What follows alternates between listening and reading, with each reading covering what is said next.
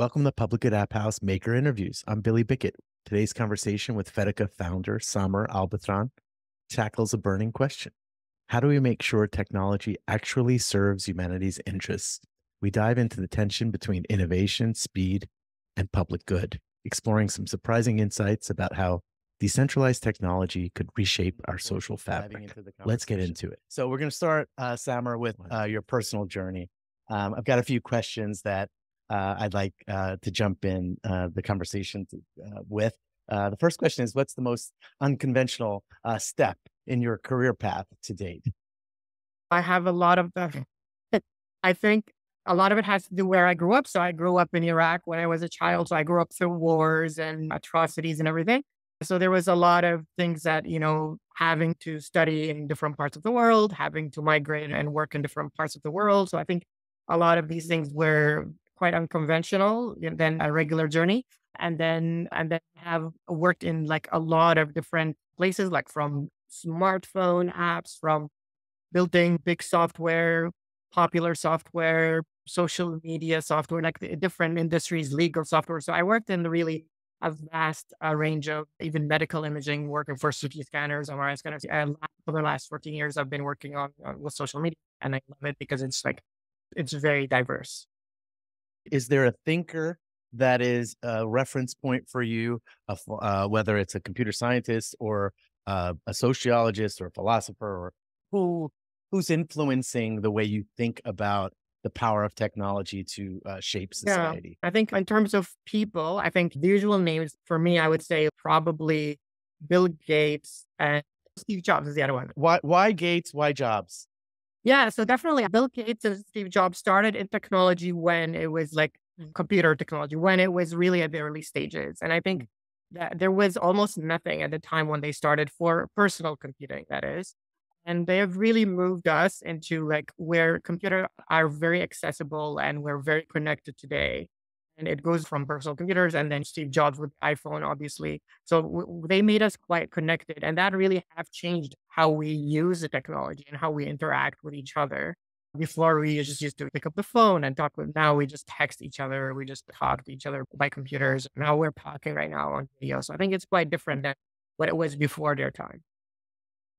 What What's a strongly held belief about technology that you've had to unlearn since the beginning of your journey? I think maybe one thing was like you learn something and you think that you learned everything. and then once once you start working with it, then you realize you're whatever you learned is only a drop of the bucket, a drop in a in the, in the sea. And then after that is you'll have to learn new things after it becomes obsolete after a while. So you'll have to learn a new set of technology after a while. Mm, mm. So the naive technical arrogance.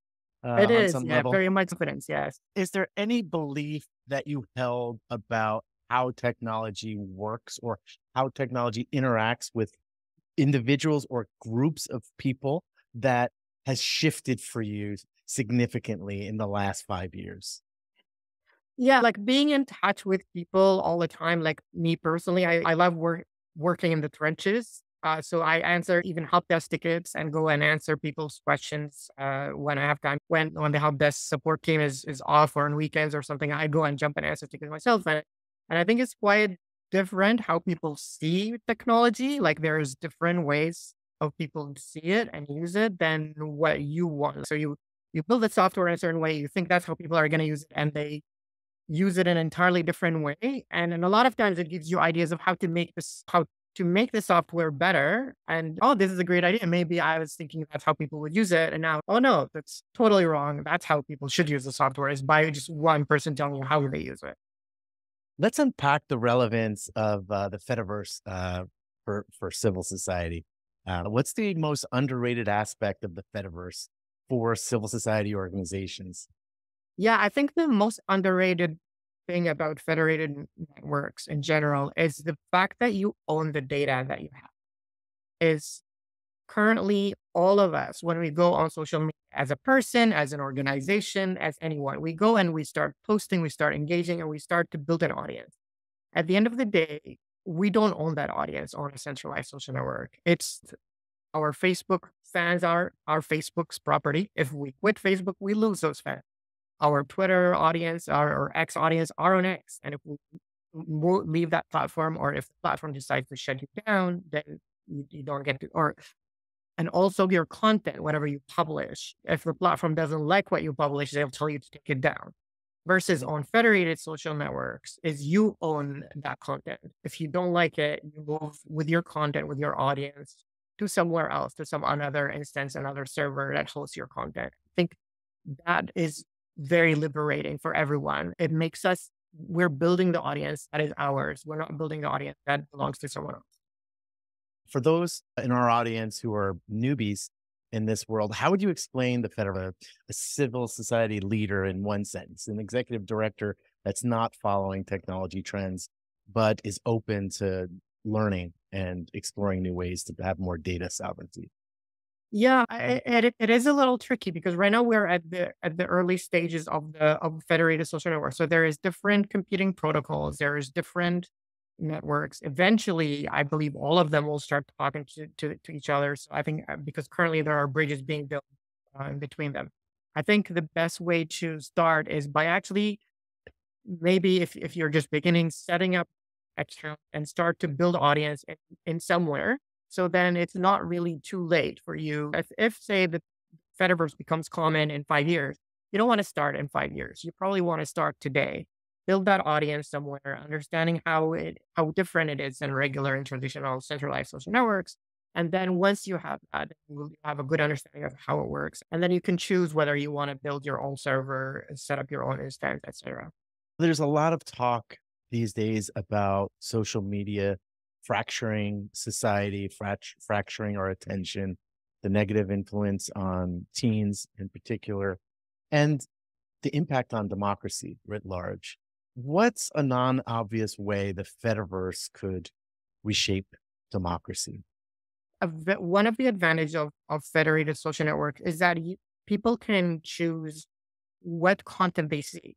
Currently, with centralized social networks, the content that we see is decided by an algorithm that is serving the company that's providing you that social network. So they're trying to maximize engagement, they're trying to maximize ads and clicks on ads. And that's really the objective of why we have those social networks for free. On the federated social networks, some of them will eventually ads, but I believe you can pick a service that really shows you a feed that is catered for the content you want to see. Some and some of the feeds are just plain as the old days of social media feed where you follow people and you see all the content from these people. And that's just plain and simple. And that's really democratizing social media by giving the power to the user to see the content they want to see as opposed to you're seeing con- content based on commercial needs of the company serving the content. Got it. What's uh, the biggest misconception in your experience that nonprofits have about uh, Fedica, your product?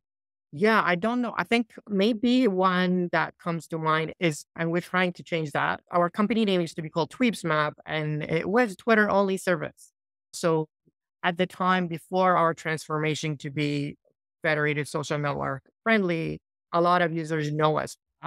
And also at the flip side, a lot of people think we're new because we just changed our name a couple of years ago. So they don't find anything new about us. So it takes a while before they re- recognize, oh, you guys have been around for 14 years. So that's one set. And the other set would say, oh, you guys are Twitter only too. Let's dig deeper into this value proposition for nonprofits. How do you quantify the value of Fedica for the nonprofit user? There is a lot of things that would be useful for nonprofit u- user. I think the main one is the ability to be on as many social networks as, as possible at once without having you to go to different platforms and then plug in your content and publish engage with your audience that way. The second one is the ability to build audiences. So instead of usually social media tools give you ability to publish, but then that's where they stop. Versus with Fedica, we really help you discover and zoom into within a subset of your audience. So to under to have a much deeper understanding of that audience and also reach out to new audiences that you don't know of. So for example, if you're trying to do an event in say New York City and then you want to find CEOs or founders or someone within that space, you can actually zoom into that subset of audience, whether within your existing audience, or you can go into audiences that you don't have and then and discover them. So I think that really helps you grow that way. I think if, if we're going to talk about the most common use case is really about saving the time. So going into multiple social networks. And for the longest time, as the name implies, Fedica, which I could talk about why we changed name, we're focused on bridging centralized social media and federated social networks. So for the longest time, we were pretty much the only social network that supported all major federated social networks for well over a year. And then, so that really helps you grow that audience ahead of time on, on those federated networks. And then, but at the same time, you're also not ignoring your existing audience on centralized social networks. So that really a big time saver for a lot of people because you don't have to jump to 10 websites at the same time to update your content.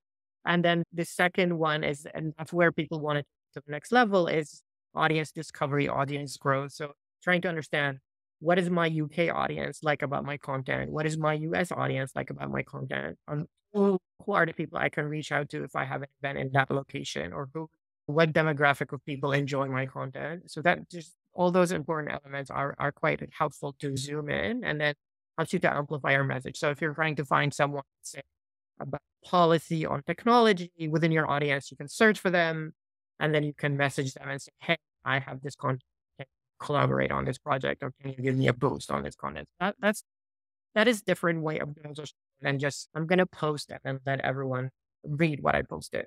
It's too directional. Yeah, it sounds like it's bi-directional and it's more much more holistic and dashboard oriented kind of yes, approach. Yeah. What were the users that from nonprofits? Are they social media managers, community builders? What are their roles, titles? A lot of them are social media managers. A big chunk of them are social media managers. So those are the brave souls that will write the content and hopefully it performs on social media and trying to reach out to their audience on social media. And those are the people that are basically content creators. So they're the people that create the content, schedule it, organize it, yeah. and, and, work with all that. And then there is a second subset of audience, which is the analytical side. So those people are more into trying to get insights and trying to find out where is our audience, which of our content performs, which what demographic of audience, and how do we change the composition of our audience.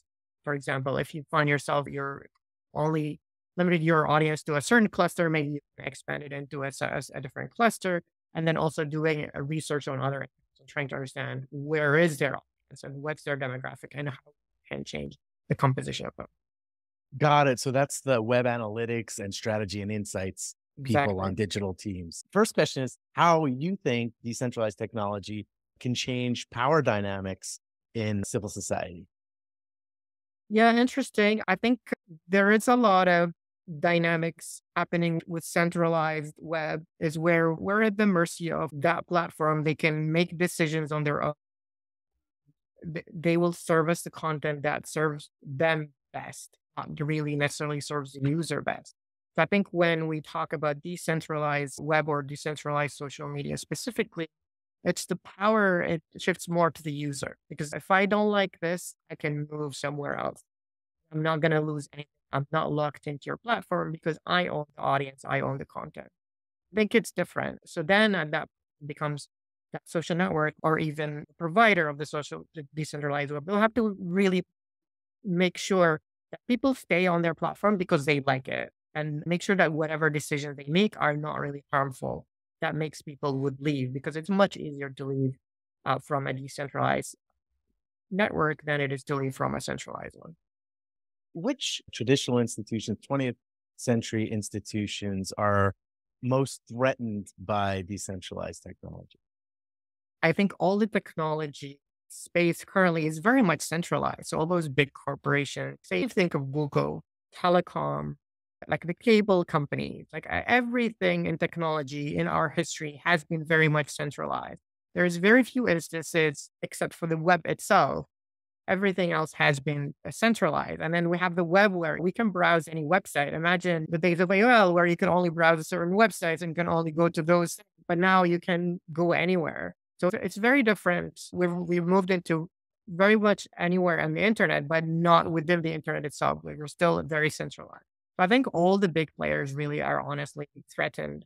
And I'm actually quite impressed with Facebook adopting, adopting the, the Fediverse because that's one thing that they're very much centralized, protective of their data, but they're very much the biggest player right in decentralized social media. So it's very interesting take from them. But I think that's one thing for them to acknowledge is that the world is moving toward decentralized social media. And if they're not, if they're going to continue to be centralized, they'll become irrelevant they could become like MySpace at some point. So I think they're, that's one way for them to acknowledge that's where the world is moving. So it's better that we adopt it and acknowledge it and just give that better experience to users. Yeah, there's this parallel decision they made with open sourcing Llama as well. Let's talk user participation and public good technology. We're talking about this intentional pursuit of building tools for the public good or public benefit. All of these movements are a response to, I think, what was this previous value proposition from social media and big yeah. tech companies that they were building technology to empower us and, yeah. and give us a voice. And it yeah. turned out that the, the, the business model demanded that they would hold the data and our attention was the product. And now here we are in this next iteration of the web, trying to find our way in terms of user participation in public good tech, what's the hardest trade off between uh, user autonomy and community cohesion?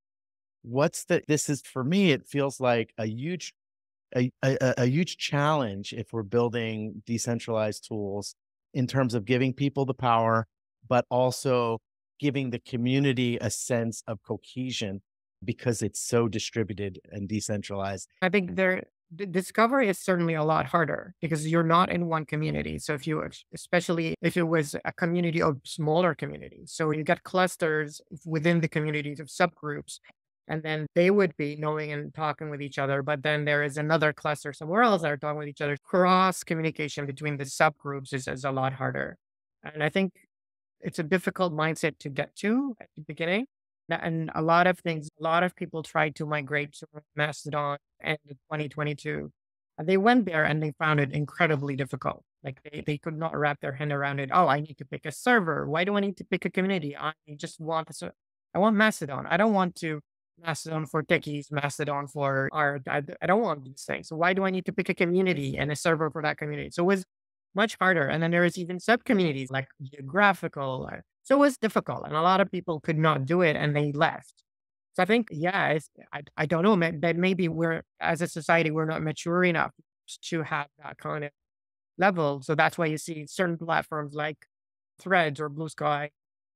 It's a lot easier and getting a lot more users because it's easier. It's just one place you go to, you create an account and you're done. You don't have to think, you don't have a million choice to pick from that makes it easier for people to get to. But maybe eventually, I think once once everyone learns how federation works and how you actually get to choose your your subcommittee and then you can somewhere else, then it will be easier for people to move. And maybe people will stay with those mega platforms will cater for the average person, but then only people will move to get to their own niche communities. What's a non-obvious way uh, Fedica encourages civic engagement? Uh, I think generally we don't push this front and center, but I think discovery of other accounts, I think that's a, a key piece. Not many people know, and usually only those seeking it will come to us and say, I want to search for those for a certain type of personas to engage with certain people. And that's a piece that's really not very obvious. We don't really advertise it front and center on the service, but I think it's a lot of our users use it to engage and to expand their audience. So, so it's like the collaborative filtering that points users to adjacent or shared affinity types of organizations, which they yeah. may be learning from or collaborating from in the future, perhaps. It's funny because, like, we talk about decentralized world, and the decentralized world means you have really fragmented communities. So it's almost like right. is centralizing everything, bringing all those aggregating, yeah, yeah, yeah, aggregating them all in one place. So then you can right. them all in one place because it's really right to find them. So you're creating this sort of big tent for yeah. these social media managers, these community managers to find the others. Tell the audience about the biggest risk to the future of the Fediverse writ large. The Fediverse is a new concept and it can be complicated. The average person does not understand. The name Fediverse itself is scary, like it's complicated. It sounds like a technology jargon. I think at some point it will be simplified to something small. I think Fedi is probably going to be the one, but who knows? And I think the concept is a lot of people think it's like federated is this federal government. for the American friends. Yeah. So there is a lot of, you know, barriers to adoption, but I think event, I think people are growing into it. And then there's a lot of it. I think one of one of the greatest things that happened was definitely adoption of Meta adopting the metaverse into their threads. I think that was really helpful exposing it to the world and people are easing into it. So that's one. I think the other challenges is people might find it just too complex and they might not like it. They might prefer their old centralized world, even though it might work against their benefit or against their needs, but they will go, it was, it was much easier. I'm going back to Facebook. I don't want to, I'm back to X. I don't want to mm. do this. So that could mm. be uh, another challenge. And then obviously there is also challenges of mega corporations taking over the Fediverse, just like how the uh, what happened to the internet. So the internet was very much decentralized, but then big corporations came and made it centralized silos. So it could be there's a lot of people when Meta decided to join the Fediverse, a lot of communities in the, on the Mastodon and other federated social networks, they were saying, "Oh, we're going to block. We're going to Fedi block, which is the term to block a certain form we're going to Fedi block threads and not allow them to be part of our network. And some of them group together and they announced that they will create alliances to block it. But I think that was just didn't go very well. Much like the biggest instances continued and federated and was successful federated. And is a valid risk. They were not. A lot of people are hesitant to change, but I think it is a valid risk. We don't know if Meta will continue to be open about their support for the Fediverse, maybe at some point they'll go, oh no, we're going to decide to leave it, or we're going to say, or we're going to decide to only implement certain features. Maybe move your audience. You're stuck with us now. You build your, your audience, but you can't move it anymore. So that could possibly, that could be a possible thing to do. So we don't know. So that's another risk that is valid. Um, hopefully it will not materialize, but we don't know. Let's take a, a bullish case on um, decentralized platforms uh, progressing and accelerating as trust uh, diminishes uh, across these different user bases, not just in the US, but uh, across the world. What's your bet on decentralized platforms surpassing centralized ones as the dominant choice? What year is that going to happen in your best mm. case? here's what I think is going to happen. I think eventually all the major platform will federate because imagine it's 1990 and then you're AOL and say, oh, we're only going to keep AOL customers to be on AOL. You can't join the internet. If you want to email your friends, they have to have an AOL email address. You can, I think it's very unrealistic. I think eventually one by one, once the network federate, all of them will have to federate.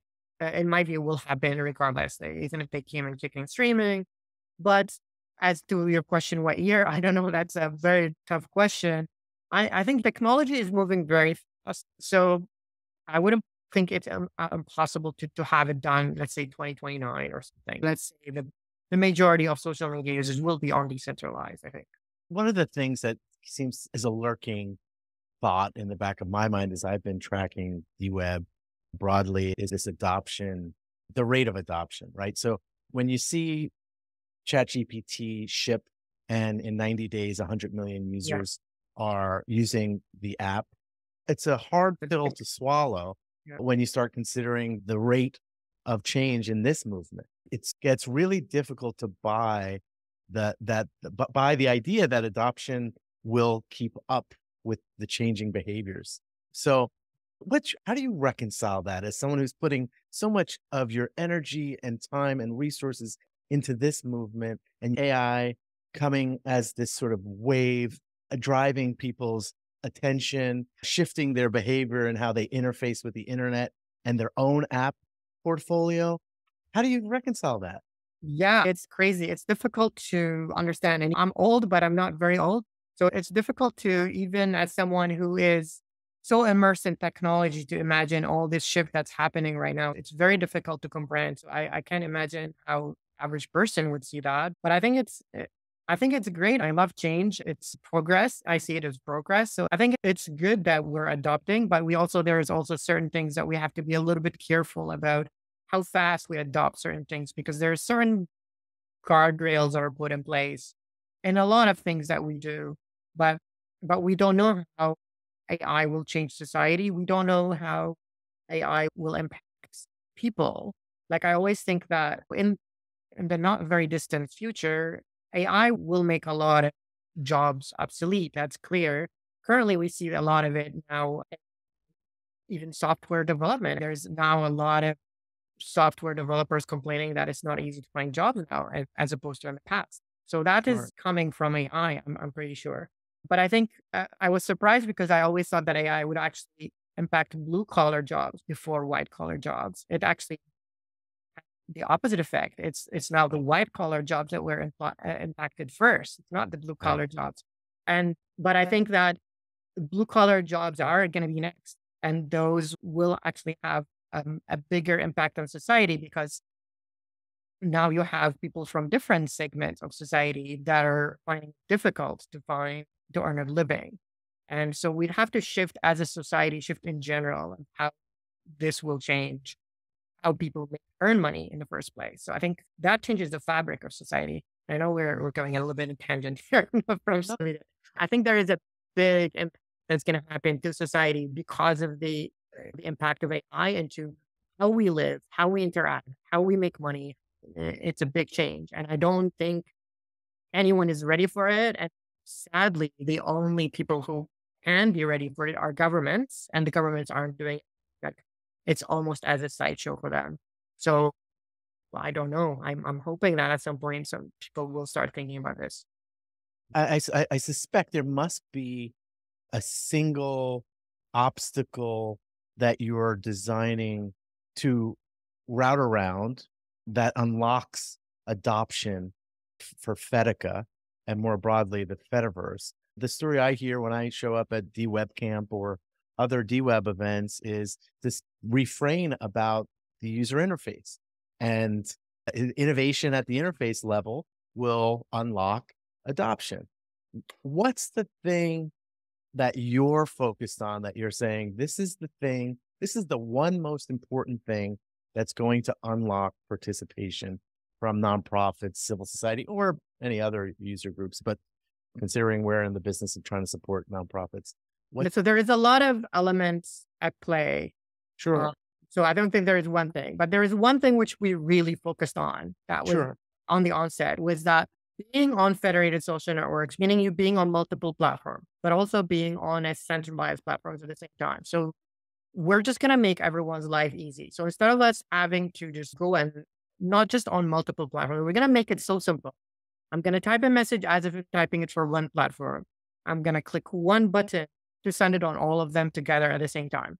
No customization, no nothing. Say I am having, today is a nice day. It's a nice weather. I don't want to say, put a photo for this, put a video. I'm just going to type one message and then send it to all of them and click. So make it simple to begin with. But then also the second level is, but what if I want to customize it? I want to make a poll on LinkedIn, but I can't make a poll on other networks. So then you can click a button that says, now you can customize it. So we basically, I think that was the biggest challenge is make it really simple, but also be sophisticated at the same time.